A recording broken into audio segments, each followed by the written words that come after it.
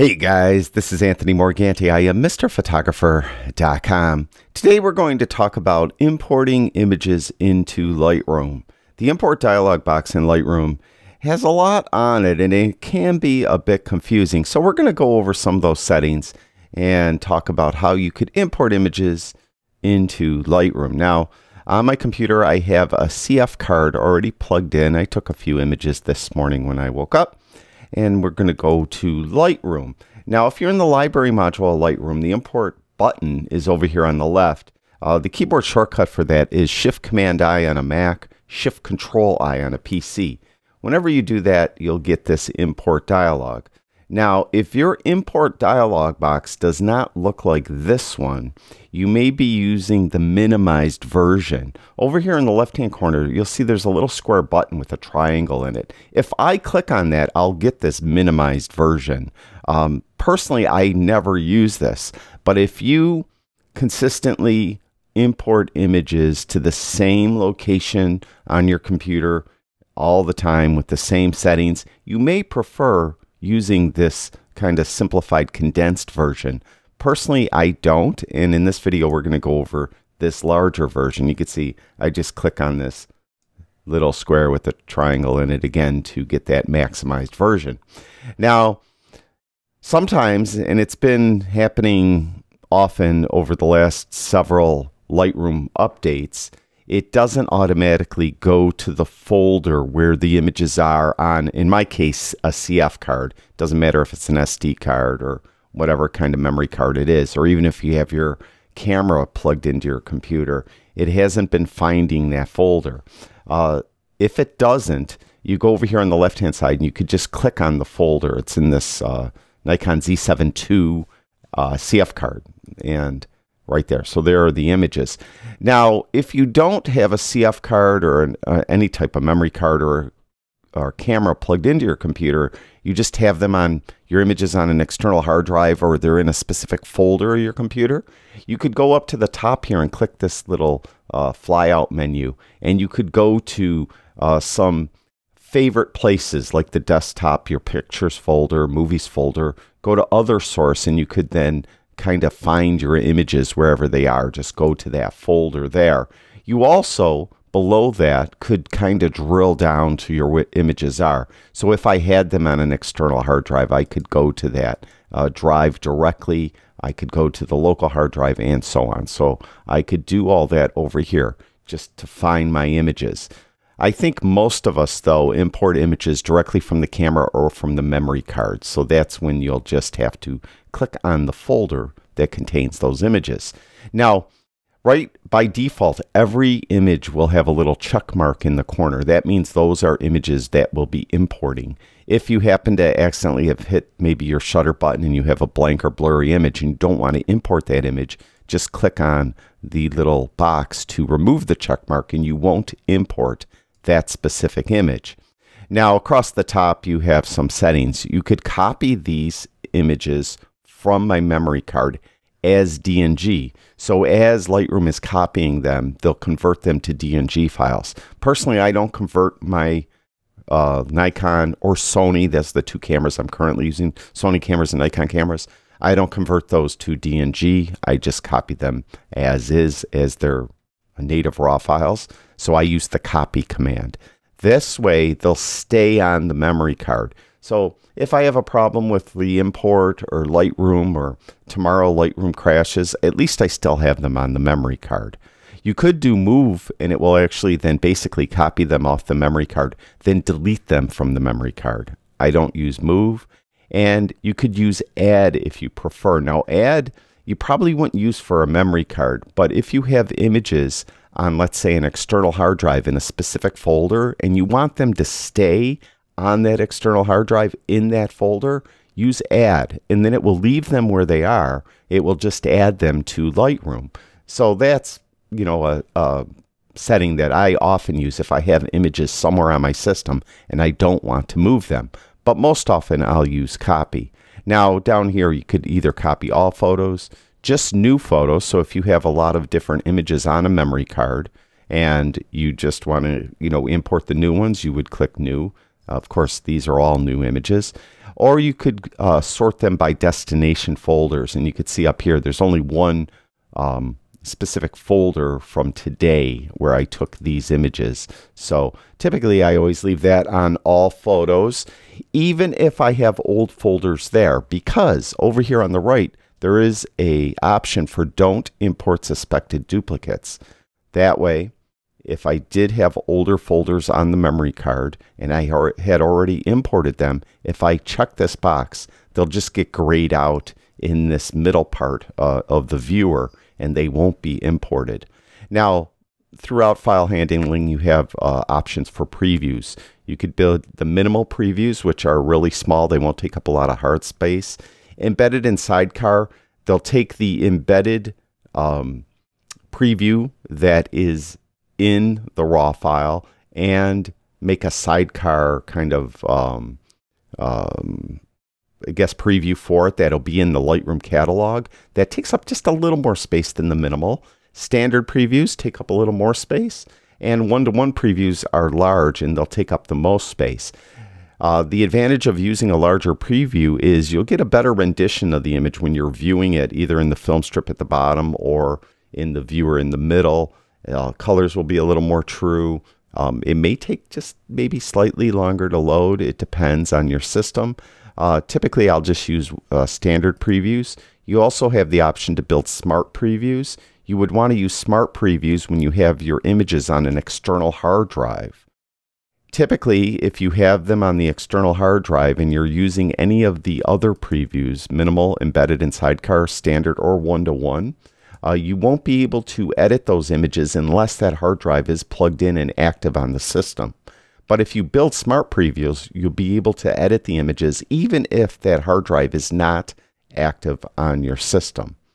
Don't import suspected duplicates we talked about. Now you can make a second copy. So as you're copying them to a specific location on your system, you could copy a second copy somewhere else as a backup. Uh, add to a collection. Collections in Lightroom, often people, or often I will personally like to add them to a collection as I go, but this one I'm not going to. Now, do you want to do any file renaming? Personally, I always leave the original camera file names, but you can rename them. There's different templates. So there's custom names, custom name with the original file number, custom name or a sequence. Well, it'll go like whatever custom name, let's say you're using, you know, outside. It'll be outside dash one, outside dash two, and so on. So you have all these presets you could do there, or templates they call them. You can put your custom text here if you want to. Uh, your start number. So if you're using a custom name dash one, dash two, what do you want to start at one? Uh, extensions leave as is. Now I don't rename files, so I will uh, keep that checked off and we could even minimize that box. By the way, if you're not seeing all these options over here on the right, just right click near any of them. See like file naming and you can see that they all have check marks next to them. If I, since I never use file renaming, if I remove the check mark, it disappears. So if you're missing any of these, right click near one that's already there, like apply during import. And I could then put that check mark uh, uh, again next to file renaming and it will reappear. So it's there apply during import. Do you want to add a develop preset? These are presets. So if you want to add a preset to the image as you're importing it, you could do that here. Metadata presets, I've covered this in uh, numerous videos. This, for me, I have a preset that adds my copyright info, my address, um, a website uh, URL that talks about my copyright and what rights I give uh, if you know someone wants to use my image which I don't give any. Uh, keywords. You could add keywords to your images as you uh, import them. I really, this is one of those do as I say, not as I do. I really encourage everyone to use keywords because it will help you search and find images later. I am horrible. I never add keywords, but you know, you probably should. Destination. Now, this is the kind of hairy part. Where are we going to put these things? Now I have all my images on an external hard drive that I've called Lightroom. All right, so I named it Lightroom. Don't let that confuse you. And you don't need to have your external hard drive called Lightroom. Right, it could be called anything you like.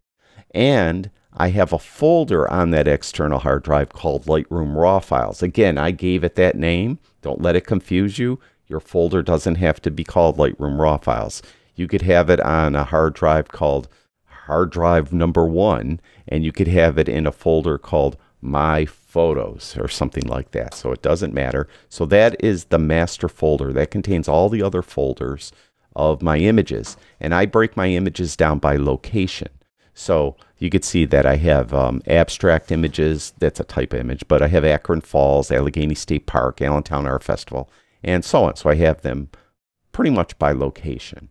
Now this these uh, set of images were taken on the Buffalo River, and I do have a location, Buffalo River.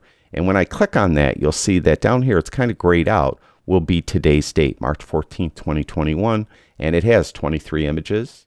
That's what we have, and it has a check mark next to it. That's because if we go back up to the top, I have them going into the folder I click on by date. And it's going to create a folder inside of that Buffalo River folder with the name 2021 03 14. That's the date format I like to use because it sorts them in time order. So the earliest ones are at the top, the latter ones are at the bottom. So that's why I use that. So you could see now we go down here, you could see there's uh, from 2017 a few, there's 2018, see how they're in order. That's why I like to use that date format. So they'll be put in the Buffalo River folder inside of a folder called uh, 2021 0314. And all of that is inside of the master folder, Lightroom RAW files. And Lightroom RAW files is on the external hard drive I called Lightroom. So hopefully that made sense. Now, these um, master kind of folders are the folders that are directly under Lightroom RAW files. What if I wanted to create a whole new one? What I would do is I would click on Lightroom RAW files then I would go up here into subfolder and let's call just call this test folder. Now you'll see inside of Lightroom RAW files, if I go down to T's, we'll see test folder is there. And inside a test folder is that date. So that's how I could create a whole new location and put in images. Now, obviously, I don't want to do that here. I don't want to do a subfolder. I just want to do them by date, and I want the date inside of Buffalo River. Right there. Okay, now I have them going into that folder. Um, I'm not going to use any develop presets. I'm going to put that import preset, which basically my copyright info in there. There's not going to be any keywords. They're not going into a subfolder inside of another folder. They're going inside of that Buffalo River folder as I indicated. Now along the bottom, we have some controls for what we're seeing here, like the thumbnails if you want to make them bigger. You can move the slider right, left, stuff like that. You also could check all, uncheck all. You know, you want to do that. If you want to uh, view one specific one, like if I want to view that one, I could just click here and see that image, right? Go back to the view of all of them. That's what I like to do. You could go to a custom sort by like capture time, which is what they are defaulted as. Uh, check state, uh, they're all checked. File name, it's pretty not going to move because everything's there. They're all raw files. So, so pretty much nothing's going to move here. Uh, for the sort, uh, you could flip them around from the oldest to the newest, the newest to the oldest by clicking there that at the very bottom too, you have this thing that still allows you to put an import preset uh, on it. Um, so we, we, you know, right now it's saying, you know, save current settings as new preset, restore default presets. This is just the settings I have for the overall import dialog box. So um, Right now, as it's set, I have it coming from this memory card. I have them all checked. I have them going into this specific folder. If I want to save that as a preset, I could do that here. But I'm always putting them in different folders. And um, sometimes I'm creating new folders. So that is not something that I would ever do down here. So uh, right now, we're ready and we could click import. Uh, you could click done and it will save these settings for use next time. All right, and it does that anyway if you click import. So if you're not ready to import yet, you but you don't want to go through this whole rigmarole again of clicking on this folder, clicking on copy, uh, going, you know, whatever you checked over here going into your folder, just click done. And then when you bring the import dialog box back again, it will still have those settings, except you still got to click. I think that's a bug over here. Got to click on that folder. But then you'll see it's, it's automatically putting it in where I want it to go and everything like that. So we'll click import and I'll show you one more thing. As it imports the folder, it doesn't actually bring you to the folder where the images are. It brings you to the top in the catalog tab, current import. So we're actually not in the folder where these images reside. And the problem with this is if you want to try to custom order anything, so if I go, well, I like this one, but I want it first, you'll get, you can't custom order anything when you're in the previous import catalog at the top. You have to actually go down to the actual folder. Then I could come in and I could take like this last image and put it like second, like that. So I could do custom ordering now. All right, so I just wanted to make that, let everyone know, because I do get that question sometimes, uh, people telling me they can't reorder their images. That's why. The import dialog doesn't put you in the folder, it puts you up in this catalog previous import. All right, so that's hopefully everything you need to know on the import dialog in Lightroom. Hopefully that will help you more effectively import images into your Lightroom. Thank you, everyone who watches my videos. I really do appreciate it. I'll talk to you guys soon.